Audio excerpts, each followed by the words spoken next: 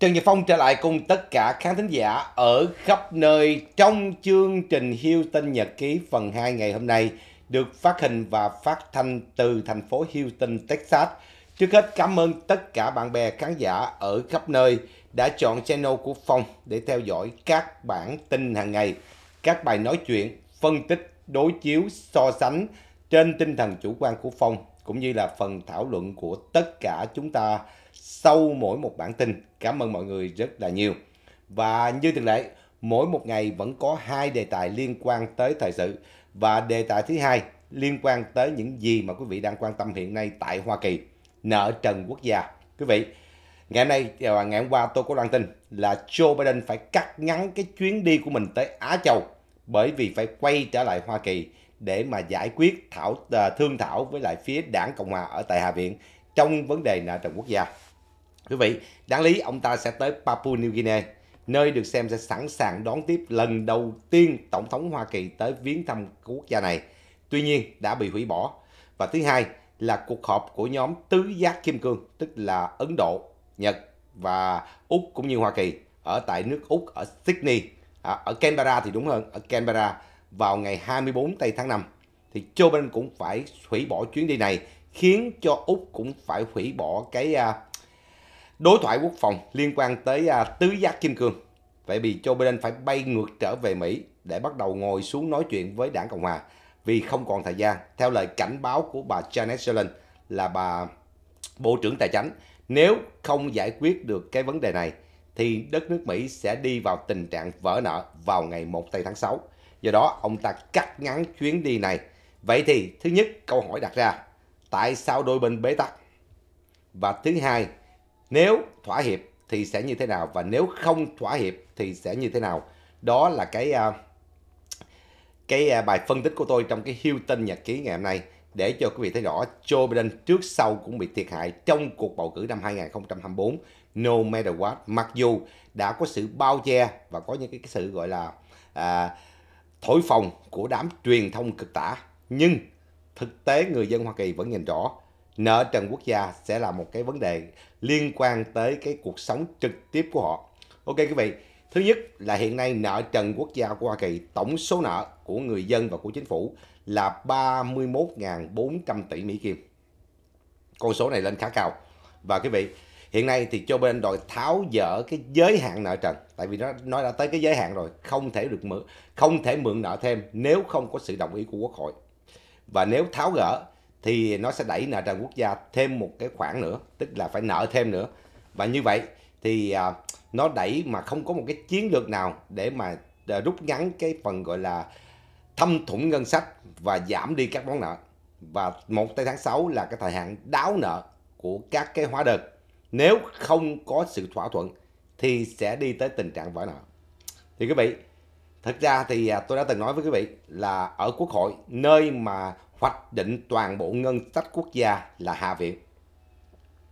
Và dưới Hạ viện thì họ họ toàn quyền hoạch định cái ngân sách quốc gia. Thượng viện chỉ bỏ phiếu để đồng ý hay không đồng ý và duyệt lại những cái ngân sách đó hoặc tu chính những cái điều trong ngân sách đó mà thôi. Chính là Hạ viện.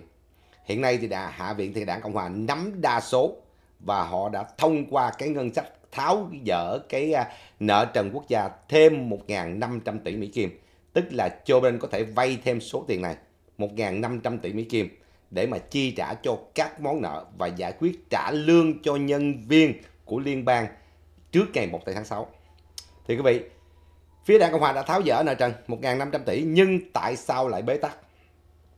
Là bởi vì trong việc tháo dỡ này, đảng Cộng Hòa đính kèm những điều kiện buộc chính quyền của Joe Biden phải cắt giảm tất cả những chi phí ở các cái cơ quan của liên bang để mà giảm đi cái sự thâm thủng ngân sách mà họ ước lượng là từ đây trong vòng đến 10 năm tới là sẽ giảm được khoảng 4.500 tỷ Mỹ Kim, con số rất là lớn. Do đó, họ đệ trình cái dự luật này và họ đã được thông qua trên sàn Hạ viện. Giờ đây thì chờ cuộc thương thảo với lại Joe Biden trước khi Thượng viện quyết định. Thì quý vị, nó nằm ngay chỗ này. Thì Joe Biden trước đó là rất tham lam. Ông ta đòi hỏi là phải tháo dỡ cái nợ trần quốc gia nhưng không có điều kiện gì hết. Và ông ta sử dụng những à, binh lính dưới quyền của ông ta để tung tin ra và gây à, gọi là thổi phồng tất cả mọi thứ lên. Trong đó, người đầu tiên là Janet Yellen, Bộ trưởng Tài chính. Bà này thứ nhất là bà ta đã cảnh báo là sẽ vỡ nợ ngày 1 tháng 6. Thứ hai, bà ta đã lên tiếng thúc giục các lãnh đạo kinh tế và các lãnh đạo của những đại công ty là phải lên tiếng trong việc tháo dỡ nợ trần quốc gia. Và bên kể cả bên tài chính ngân hàng, bà ta cũng đã à, tìm cách thuyết phục quỹ dự trữ uh, liên bang, tức là cái uh, Federal Reserve để mà lên tiếng cảnh báo. Nhưng tất cả những ngày này họ vẫn giữ im lặng. Tại vì sao? Họ biết được Joe Biden là một kẻ rất láo cá. Quý vị, láo cá ở chỗ nào? Là ông ta không muốn cắt giảm những chi phí của chính quyền liên bang mà lại trực tăng thuế người dân và tăng thuế các đại công ty.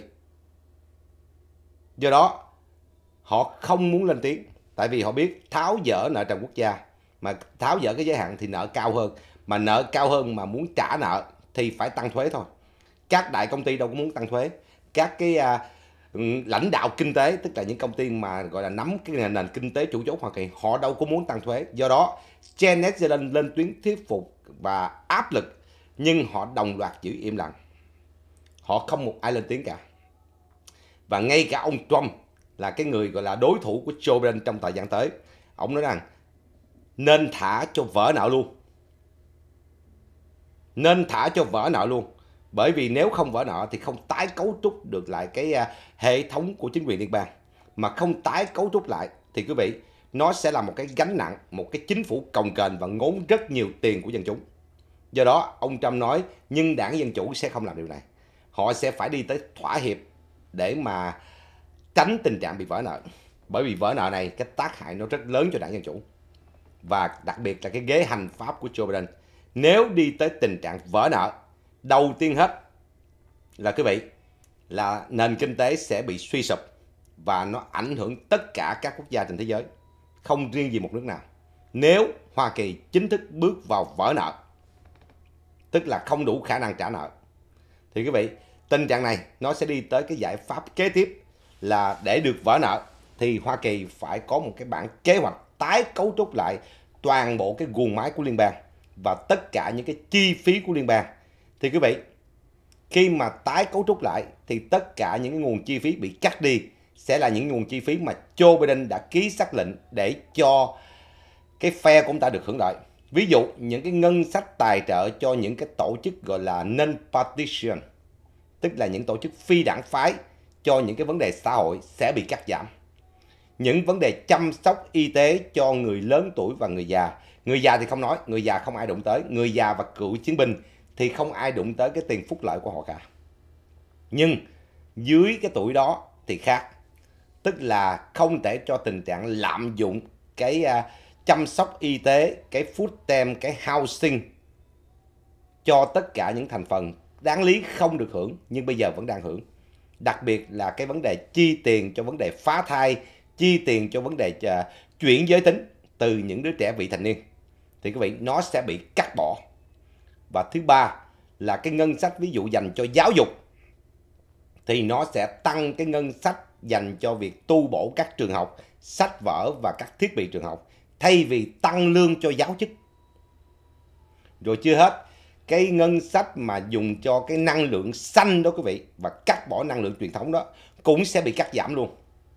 Và thúc đẩy cái việc phải sử dụng lại năng lượng truyền thống trong lúc chờ chuyển tiếp qua năng lượng xanh không thể giới hạn để cho tình trạng lạm phát lên cao. Rồi quý vị, cái ngân sách dành cho bên di, di trú cũng sẽ bị cắt giảm. Tức là không dùng cái tiền đó để tài trợ cho những di dân bất hợp pháp bằng bất cứ hình thức nào. Kể cả xây dựng những cái trung tâm giam giữ, chăm sóc y tế, học vấn cho những con cái của những di dân bất hợp pháp, rồi thực phẩm vân vân. Họ sẽ cắt giảm. Ngân sách đó chỉ dùng để trả lương cho những nhân viên di trú và những người thực hiện đúng cái quy tắc của luật pháp Hoa Kỳ về di trú. Chưa hết quý vị, bên cạnh đó thì họ sẽ soi đèn vào cái vấn đề chăm sóc y tế là họ sẽ tìm cách giảm đi cái uh, chi phí y tế. Đây là cái chi phí nặng nhất mà Hoa Kỳ gồng gánh suốt mấy chục năm nay. Thì quý vị, tất cả đều phải bị cắt giảm hết và sẽ loại bỏ một số những cái à, chi phí không cần thiết để tái cấu trúc lại và bắt đầu củng cố lại cái à, nguồn thu và quân bình cái nguồn chi để à, không có bị lỗ lã nữa. Thì quý vị, tất cả những điều này đều đi ngược với lại khuynh hướng của Joe Biden. Do đó, những phe phái ủng hộ cho Joe Biden sẽ cảm thấy là họ bị mất quyền lợi rất là nhiều. Họ bị mất quyền lợi rất là nhiều. Đương nhiên đám Joe Biden sẽ tung tin giả là cắt giảm y tế dành cho người lớn tuổi hay là cựu chiến binh vân vân. Ngay cả bây giờ quý vị, trong cái ngân sách cắt giảm này họ đã tung tin đó, đó ra.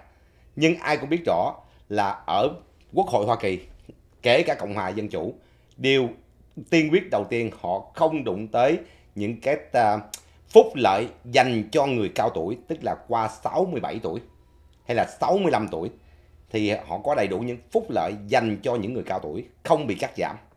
Không có một sen, một penny nào, một sen nào mà bị cắt giảm hết. Ngược lại, họ còn được tăng thêm cái chi phí chăm sóc cho họ, kể cả cái vấn đề thực phẩm mỗi ngày nữa. Thứ hai là những cựu chiến binh. Những phúc lợi của các cựu chiến binh chưa bao giờ bị cắt bỏ. Do đó, bên Cộng hòa hay Dân Chủ cũng vậy, họ không bao giờ đụng tới những chuyện này. Họ không bao giờ đụng tới những chuyện này, nhưng họ sẽ nhắm vào cái gọi là nhân danh là chăm sóc y tế cho phụ nữ, rồi chi tiền phá thai, một ca phá thai quý vị thấy là mười mấy hai chục ngàn. Mười mấy hai chục ngàn là tối thiểu. Chưa kể tới cái tiền nằm bệnh viện mấy ngày nữa. Ra hai mấy chục ngàn, hai mấy ba chục ngàn cho một ca phá thai. Và tiền đó chính phủ trả mà chính phủ lấy tiền từ tiền thuế của người dân. Do đó nhân danh chăm sóc sức khỏe cho phụ nữ để chi tiền cho vấn đề phá thai là điều không thể chấp nhận được. Ngoại trừ, ngoại trừ những trường hợp đặc biệt như là hãm hiếp, loạn luân hay là ảnh hưởng tới sức khỏe và sinh mạng của người mẹ. Thì quý vị, đây là cái chi phí sẽ bị cắt giảm. Rồi quý vị cũng nhân danh chăm sóc y tế cho trẻ vị thành niên, tức là dưới 18 tuổi. Thì quý vị, nó lại tích một phần ngân sách đó ra để mà chi cho những người thích chuyển giới tính và mong muốn được chuyển giới tính. Một ca chuyển giới tính vậy tệ tệ lắm, từ vài chục ngàn cho tới cả trăm ngàn và còn hơn nữa. Chưa kể là mỗi 3 tháng, 6 tháng phải chích hormone mà chích suốt đời để chuyển giới tính. Thì quý vị, trẻ vị thành niên dưới 18 tuổi tiền đâu ra mà chi? Cuối cùng nó nhân danh là chăm sóc y tế cho trẻ vị thành niên. Lấy tiền đó chi ra, trong khi đó nó xài cái tiền đó quá nhiều. Còn những đứa trẻ bị bệnh tật hay bị gì đó thì lại bị siết chặt. Tức là những đứa trẻ mà sinh ra bị yếu ớt cơ thể hay bị một cái gì đó trong cơ thể cần có sự chăm sóc y tế. Thì quý vị, họ lại bị giới hạn chuyện này chuyện kia. Trong khi tiền chuyển giới thì một ca chuyển giới như vậy tốn cả trăm ngàn Mỹ Kim. Do đó, những cái ngân sách này là những cái ngân sách vô lý, cần phải cắt bỏ và cần phải làm cụ thể chăm sóc y tế là dành cho những trẻ dưới vị thành niên, bệnh hoạn hoặc có những cái nhu cầu về sức khỏe của họ thì chăm sóc nhưng không thể chi tiền đó cho một cái chuyện vô duyên là chỉ thỏa mãn cái ý đồ của đứa trẻ đó là muốn được chuyển giới tính Muốn chuyển giới tính không ai cản cả, luật Mỹ cho phép và xứ Mỹ tự do, quyền cá nhân của mình, nhưng phải tự bỏ tiền túi ra. Hoặc là trong gia đình bỏ tiền ra, chứ không thể đụng tới tiền của chính phủ. Và tiền của chính phủ là tiền thuế của người dân. Đó là điều thứ nhất.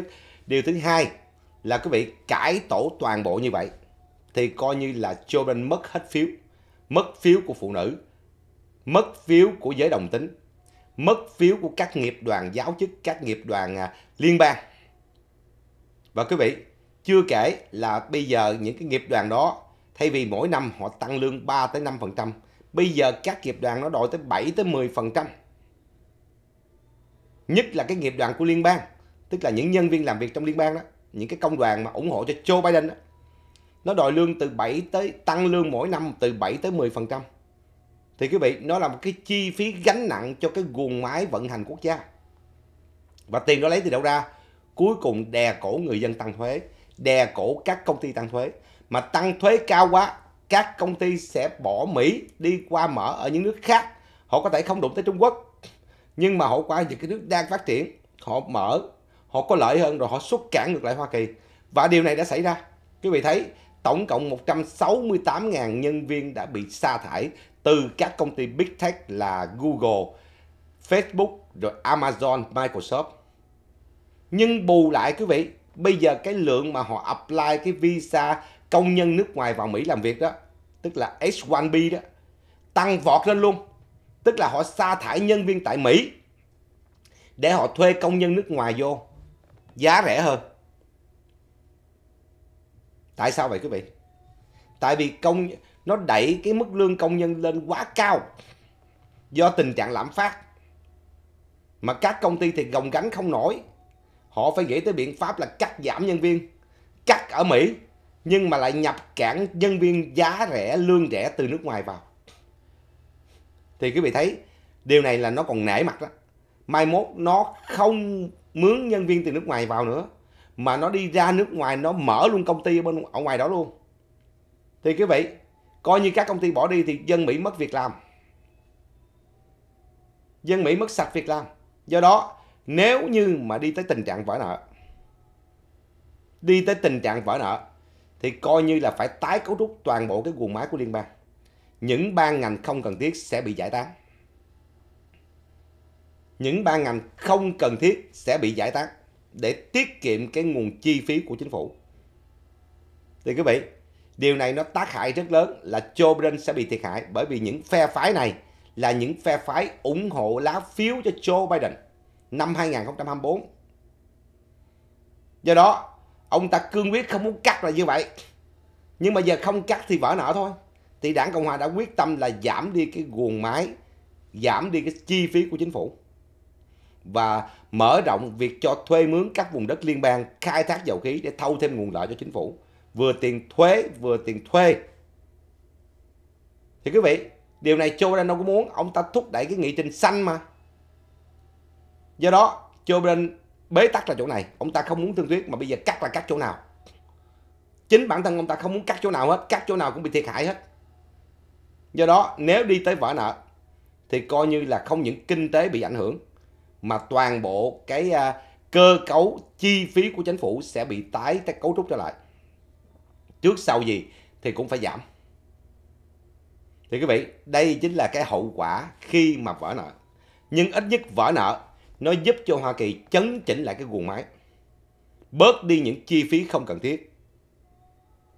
Và tập trung về cái vấn đề nâng cái quality, tức là nâng cái à, phẩm chất phục vụ lên cao hơn thì quý vị vỡ nợ nó có mặt tốt và mặt xấu nhưng mà mặt xấu thì người ta nói nhiều hơn là bởi vì nó ảnh hưởng toàn bộ kinh tế của thế giới còn bây giờ nếu như đi tới trường hợp mà Joe Biden thỏa hiệp với lại phía của đảng Cộng Hòa thì như thế nào? Tức là ông ta đồng ý sẽ cắt giảm một số những cái uh, chi phí ở một số những cái khâu nào đó của chính quyền liên bang. Thì quý vị, chưa chắc đảng Cộng Hòa đã chịu chưa chắc đảng Cộng Hòa đã chịu. Bởi vì việc cắt giảm này là nó mang lại cái hiệu quả 4.500 tỷ Mỹ Kim trong vòng 10 năm tới. Con số sẽ giảm đi cái nợ công quốc gia rất là nhiều. Nếu chính phủ không bị thâm thủng ngân sách. Và phải quân bình cái sự thâm thủng này. Thì quý vị, ông ta thỏa hiệp được bao nhiêu? Chưa chắc. Cùng lắm là ông ta phải chọn cái khối phiếu đồng tức là ông ta sẽ gạt cái giới đồng tính ra. Tại vì giới đồng tính thật sự lá phiếu không nhiều. Giới phụ nữ lá phiếu nhiều. Ông ta sẽ đẩy mạnh, duy trì cái việc mà gọi là cung cấp cái nguồn tài chính cho phá thai để giữ phiếu phụ nữ. Xong rồi ông ta lại duy trì cái nguồn tài chính, tài trợ cho những cộng đồng khó khăn. Gọi nó, và những cộng đồng gọi là có nhiều thách thức là cộng đồng da đen. Để ông ta giữ phiếu của người da đen và đồng thời ông ta cũng sẽ không thay đổi cái chính sách về di trú. Dùng cái tiền tài trợ của cái à, cục an ninh nội địa để chăm sóc y tế à, tạo cho à, và, gọi là cái gì? À, chăm sóc y tế và tạo cái môi trường đi học cho con em của những di dân bất hợp pháp. Bởi vì ông ta cần lá phiếu của người Latino. Nhưng mà như vậy thì ông ta sẽ bị chống đối mạnh mẽ ở cái à, nghiệp đoàn nghiệp đoàn sẽ chống ông ta. Nếu ông ta thỏa hiệp tại vì ông ta sẽ phải cắt giảm những ngân những cái ngân sách dành cho các nghiệp đoàn. Nhất là nghiệp đoàn liên bang về giáo chức rồi à, nghiệp đoàn của các cái à, nhân viên làm việc trong liên bang. Thì quý vị ông ta mất khối phiếu này. Mất khối phiếu của đồng tính mất khối phiếu của các nghiệp đoàn. Ông ta giữ được phiếu của phụ nữ phiếu của người da đen phiếu của cộng đồng Latino thì quý vị kết quả 2024 Joe Biden không hội tụ hội được tụ đủ số phiếu và chưa chắc ông ta được đại diện cho đảng Dân Chủ nữa. Ông ta chưa tuyên bố và tuyên bố rằng là ông ta sẽ tái tranh cử. Nhưng quý vị, ông ta sẽ bị thách thức bởi một số ứng cử viên của đảng Dân Chủ. Cho tới giờ phút này thì Obama đè xuống hết. Nhưng Obama sẽ khai đè không được nếu như mà cái dấu mốc của ngày 1 tây tháng 6 được giải quyết hoặc không giải quyết. Dù vỡ nợ hay không vỡ nợ thì sau ngày 1 tây tháng 6 sẽ có những ứng cử viên của đảng Dân Chủ ra đòi yêu cầu là phải tổ chức cuộc bầu cử sơ bộ, tức là primary cho đảng Dân Chủ, để họ có quyền cạnh tranh với Joe Biden. Thì quý vị, điều này sẽ đẩy tới việc Joe Biden thiệt hại. Thiệt hại về mặt uy thế của ông ta trong đảng Dân Chủ. Thiệt hại về mặt lá phiếu trong công chúng. Và thiệt hại về cái mặt gọi là mất đi một phần ủng hộ. Thật sự năm 2020, tất cả những thành phần này đứng sau Joe Biden là bởi vì họ thù ghét ông Trump. Chứ họ biết tổng Joe Biden không đủ khả năng làm tổng thống. Nhưng họ vì thù ghét ông Trump cho nên họ đứng về phía Joe Biden. Nhưng sau khi Joe Biden lên điều hành guồng máy 3 năm nay, họ mới giật mình và họ bật cửa. Thật sự Joe Biden, cái cách điều hành của máy quốc gia của ông ta còn nguy hiểm hơn là những người cực đoan. Thì quý vị, bây giờ cử tri Mỹ họ nhận ra được rất nhiều điều. Lúc trước cứ được miễn phí là ai cũng cười hớn hở hết. Bây giờ họ đặt câu hỏi miễn phí đó tiền lấy từ đâu ra? Rồi lúc trước quý vị, họ háo hức với cái chữ bình đẳng. Ai cũng muốn được bình đẳng hết. Nhưng kể từ khi mà cái à, phán quyết Roe v. Wade được lật đổ thì họ mới phát hiện ra làm gì có sự bình đẳng. Khi một số công ty tuyên bố là sẽ bỏ ra một ngân sách tài trợ cho những phụ nữ phá thai thì ngay lập tức những cái hội phụ nữ lên tiếng Ủa, các anh tài trợ tiền cho những người phá thai Vậy những người phụ nữ không muốn phá thai, muốn sanh con Thì các anh có tài trợ hay không? Chữ bình đẳng nằm ở đâu? Thì quý vị, mấy công ty này lật đật rút lại hết. Lật đật rút lại hết. Tại vì người ta đặt vấn đề đúng. Hey anh bỏ tiền ra để mà anh cha giúp cho những phụ nữ phá thai. Vậy thì còn những phụ nữ mang thai thì sao? Và sanh con ra thì sao? Chi phí đó cũng nặng vậy sanh con ra rồi phải nuôi dưỡng con nữa thì quý vị chính điều này làm cho người ta nhận ra được là những cái thuyết gọi là bình đẳng, công lý đều là những cái thứ tầm phào hết. Những cái thứ được mượn danh để tranh thủ quyền lợi thôi. Chứ nó không thật sự tranh đấu cho bình đẳng. Quý vị, chính điều này nó dẫn tới cái khối phiếu của người da đen. Bây giờ đã có nhiều phần gần như là một phần ba cho tới à, gần à, phân nửa. Họ quay sang họ ủng hộ cho cái chủ trương cứng rắn của Đảng Cộng Hòa khối phiếu người Latino xưa nay được xem là sân sau của đảng Dân Chủ. Bây giờ thì đó có cộng đồng Latino for Republic, cộng đồng Latino for Trump, mọc lên ở khắp nơi hết. Tức là những người Latino bên đây, họ nói, ủa bình đẳng chỗ nào? Tôi phải chờ mười mấy năm, tôi mới bảo lãnh được gia đình của tôi qua đây. Bây giờ chỉ cần có vài kẻ xông qua biên giới là tự nhiên có cái quyền định cư hợp pháp tại nước Mỹ. Vậy thì bình đẳng nằm ở chỗ nào? Họ nhận thức được. Họ nhận ra được. Họ nhận ra được sự bịp bọm trong cái thuyết bình đẳng này. Thì quý vị, cái thuyết bình đẳng này cũng chỉ là cái ngôn ngữ thôi. Nó bắt nguồn từ cái à, chủ thuyết của Marxist. Thế giới đại đồng. Nhưng mà nó không dám dùng chữ đại đồng tại vì nó sợ là người ta sẽ nghĩ tới chủ nghĩa cộng sản. Do đó, bây giờ nó dùng cái là nhân danh đấu tranh công lý, đấu tranh cho bình đẳng. nhưng chính họ cũng không biết chữ bình đẳng cái lằn ranh nó nằm ở chỗ nào cho phù hợp với tất cả mọi phía không thể nào đặt lằn ranh bình đẳng dành cho phụ nữ phá thai còn những phụ nữ không phá thai và sanh con thì lại không được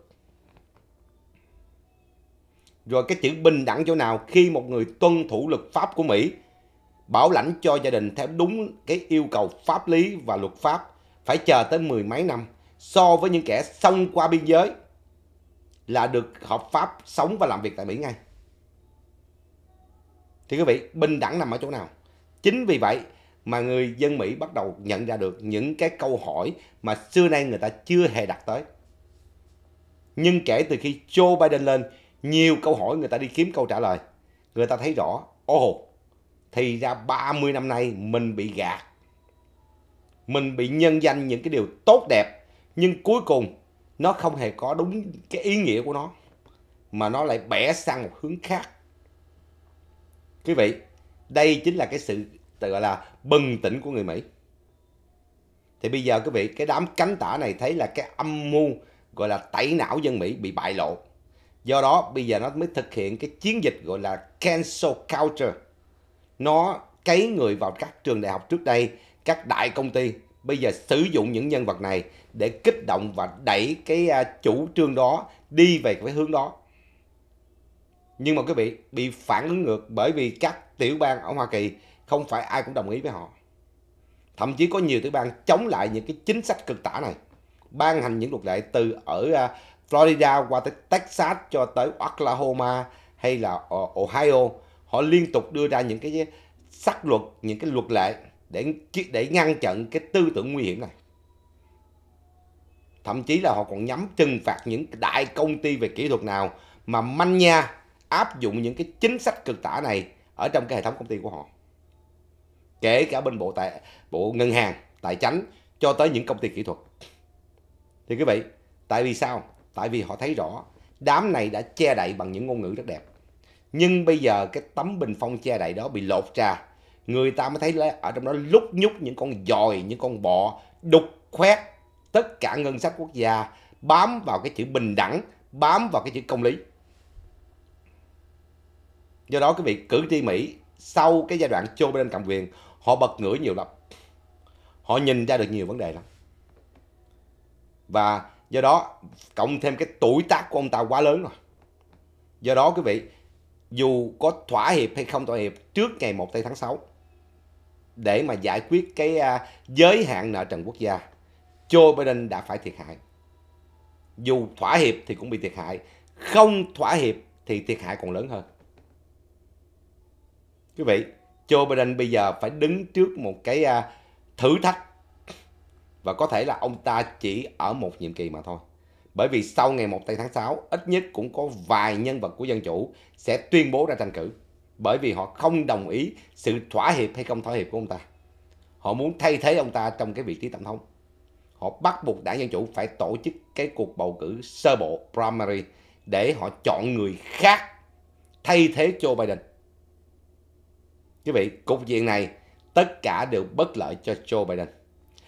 Cảm ơn tất cả các thính giả rất là nhiều cho bài nói chuyện này. Phong sẽ trở lại cùng tất cả các thính giả ở khắp nơi trong chương trình kế tiếp của TNP Channel. Xin quý vị và các bạn nhớ đón nghe và theo dõi. Cảm ơn sự theo dõi của tất cả mọi người và chúng ta sẽ gặp lại sau. Bye bye.